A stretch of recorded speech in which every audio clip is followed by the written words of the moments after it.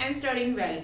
We are studying our sixth unit thermodynamics and today's topics are thermodynamic terms and their definitions जिसमें आज हम thermodynamic processes के बारे में पढ़ेंगे और फिर हम देखेंगे internal energy. Let's start. Thermal equilibrium thermal का मतलब हीट से है इक्विलिब्रियम का मतलब कोई भी प्रोसेस जो है मान लो हमें कोई चेंजेस ना ऑब्ज़र्व हो रहे हो ऐसे लग रहा है कि वो प्रोसेस में क्या है रुक गई है लेकिन एक्चुअल में वहाँ पर चेंजेस होते रहते हैं। तो थर्मल इक्विलिब्रियम या हम इसको बोलते हैं थर्मो डायनेमिक इक्विलिब्रियम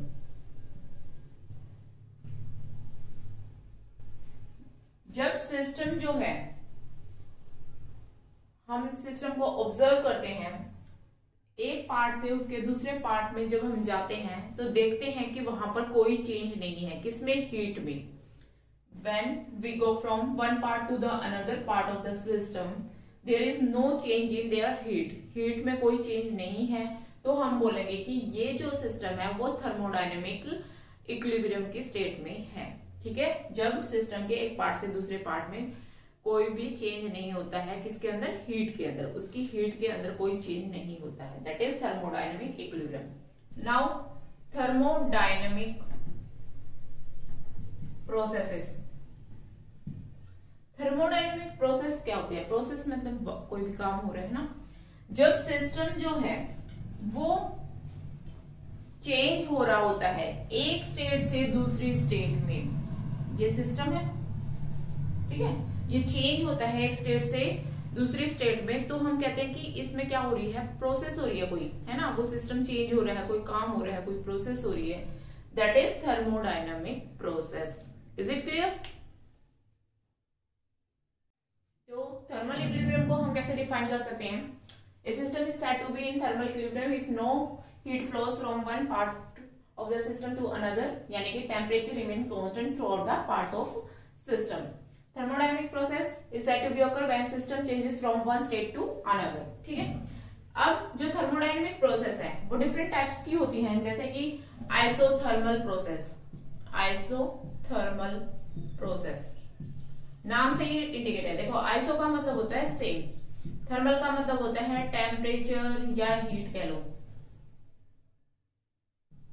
ठीक है? तो इसका मतलब ये होगा, वो प्रोसेस वो थर्मोडाइनमिक प्रोसेस जिसके अंदर टेम्परेचर क्या है? कांस्टेंट रहेगा। जब तक वो प्रोसेस रहेगी टेम्परेचर अगर कांस्टेंट रहे दैट इज़ आइसोथर्मल प्रोसेस ठीक है? The process in which temperature remains constant throughout the process. Is called isothermal process. तो यानी कि कोई चेंज नहीं होगा, यानी डेल्टा टी या डी टी इसको क्या करते हैं हम? चेंज इन टेम्परेचर बोलते हैं। ठीक है? तो चेंज इन टेम्परेचर क्या होगा? ज़ीरो होगा। कोई चेंज नहीं होगा। ठीक है? ऐसे ही आइसोबारिक प्रोसेस बारिक प्रोसेस बहुत इजी है, कोई इनको देखो आइसो का मतलब सेम बार देखो किसकी यूनिट होती है? प्रेशर की यूनिट होती है ना? तो यहाँ पर क्या होगा? सेम प्रेशर ठीक है? तो the process in which temperature की जगह हम लिख देंगे pressure pressure remains constant throughout the process is called isobaric process ना तो इसमें हम क्या लिख सकते हैं? डेल्टा पी और डीपी जो है, हम उसको लिख सकते हैं ज़ीरो कोई चेंज नहीं होगा उनके अंदर, ठीक है? नेक्स्ट है आइसोपोरिक प्रोसेस इसमें क्या हुआ? आइसो का मतलब वही same choric related to volume ठीक है? तो the process in which volume remain constant throughout the solution system या जो भी प्रोसेस हो रही है सिस्टम की, उसके अंदर वॉल्यूम क्या रहे कॉन्स्टेंट रहे दैट इज़ आइसोकोरिक प्रोसेस तो इसमें डेल्टा बी जो है, वो क्या होगा? ज़ीरो ठीक है? या डी बी लिख सकते हैं, वो क्या होगा? Zero now adiabatic adiabatic process के अंदर क्या होगा? कोई चेंज नहीं होता उसकी हीट के अंदर. जैसे जो सिस्टम है उसके साथ सराउंडिंग के साथ वो ना तो कोई हीट लेता है, ना ही देता है एडियाबेटिक प्रोसेस के अंदर, ठीक है? No heat change from system to surrounding and vice versa कोई हीट चेंज नहीं होता है, ठीक है? तो इसको हम डी यू से डिनोट कर सकते हैं। तो चेंज इन हीट जो है वो ज़ीरो है या डी क्यू से भी कर सकते हैं। तो वो क्या रहेगा? ज़ीरो होगा। कोई भी चेंज नहीं आएगा किसके अंदर हीट के अंदर। चाहे वो हम कैसे भी कर लें उसको एक मिनट इसको क्यू ले सकते हैं। हीट को क्या क्यू बोलते हैं हम। क्योंकि चेंज इन हीट नहीं बोल रहे हैं हम, वो दूसरी टर्म आ जाएगी इंटरनल एनर्जी तो हम सिर्फ़ ये बोल रहे हैं कि हीट जो है वो चेंज नहीं होगी। ठीक है? नेक्स्ट है साइक्लिक प्रोसेस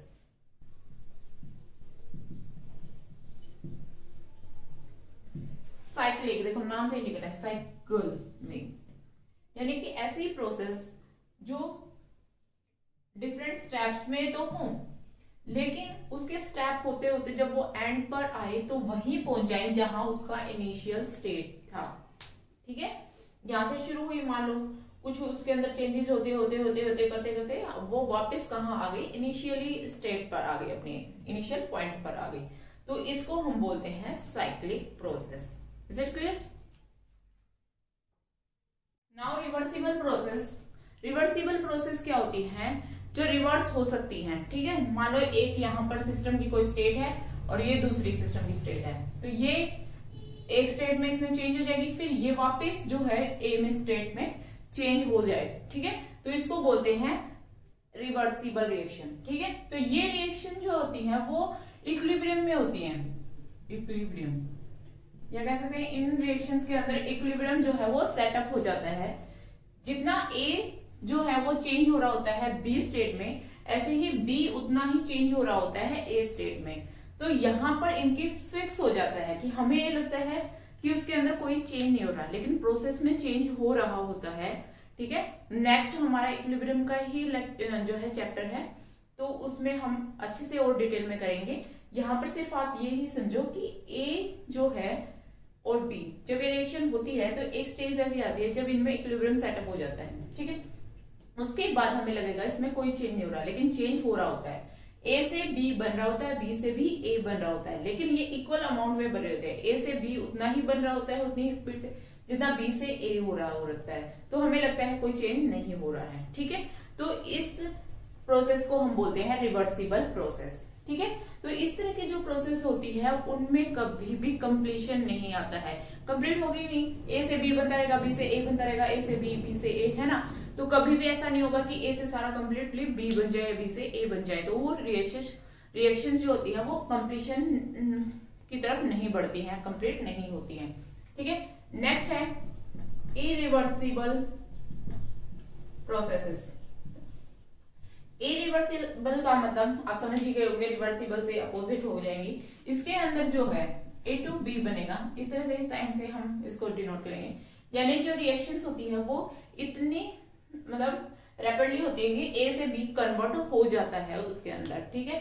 तो ये प्रोसेस क्या होती है? बहुत स्लोली होती है धीरे धीरे होती रहेगी धीरे धीरे होती रहेंगे ए से बी बनता रहेगा। तो वैसे ही फिर क्या होगा? बी इतना वेट क्या करेगा? बेचारा बी है ना, फिर से ए बनाना शुरू कर देगा। इसमें क्या होता है? ए से बी जो है रेपिडली बनता है वो रिएक्शन ऐसे ए से कन्वर्ट हो जाता है बी के अंदर, ठीक है? तो ये अब बी से ए नहीं बनेगा ए से बी ही बनेगा, ठीक है? तो इस तरह की प्रोसेस जो है एक्चुअल में होती है। जो हम देखते हैं, वो क्या है? रिवर्सिबल प्रोसेस इरिवर्सिबल प्रोसेस है। तो ये जो रिएक्शंस है, इनके अंदर क्या है? कंप्लीशन होता है। ये रिएक्शन कंप्लीट हो जाएँगे, ठीक है? तो ये थे रिवर्सिबल और इरिवर्सिबल प्रोसेस के बारे में। तो इस तरह से हम इनको डिफाइन कर सकते हैं cyclic process reversible process and irreversible process को, ठीक है? आप इसको नोट कर लें।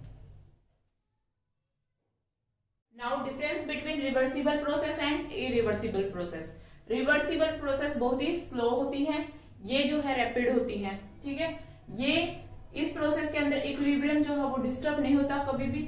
इसमें इक्विलिब्रियम जो है अटेंड होगा अगर जब कंप्लीट हो जाएगी प्रोसेस ठीक है? इसके अंदर इनफाइनाइट टाइम लगता है।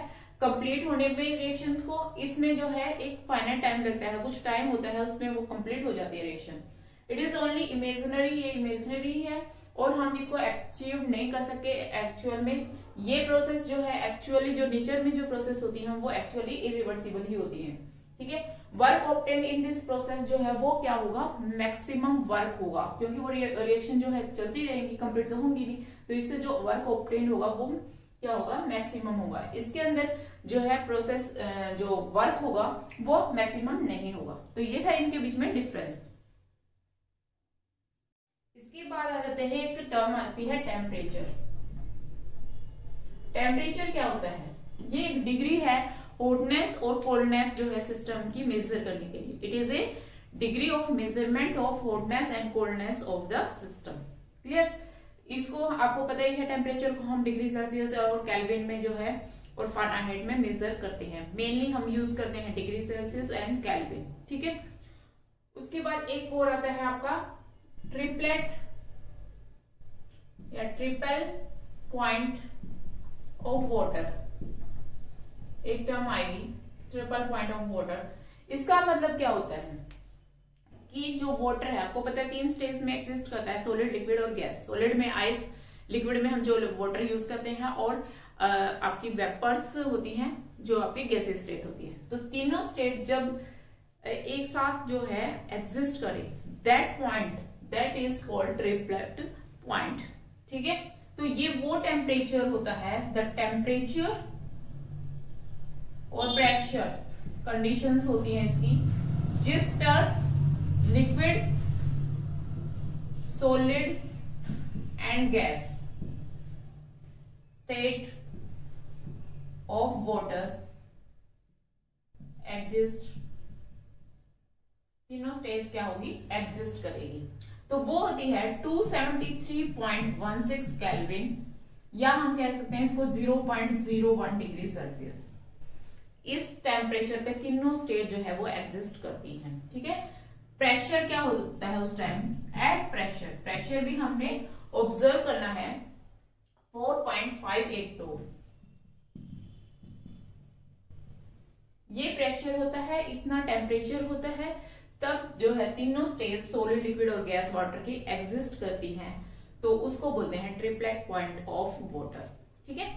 तो ये थी कुछ डेफिनेशन इंटरनल एनर्जी हम नेक्स्ट लेक्चर में कर लेंगे, ठीक है? तो आज के लिए बस इतना ही, इसी तरह आप पढ़ते रहे और मुस्कुराते रहे। जय हिंद!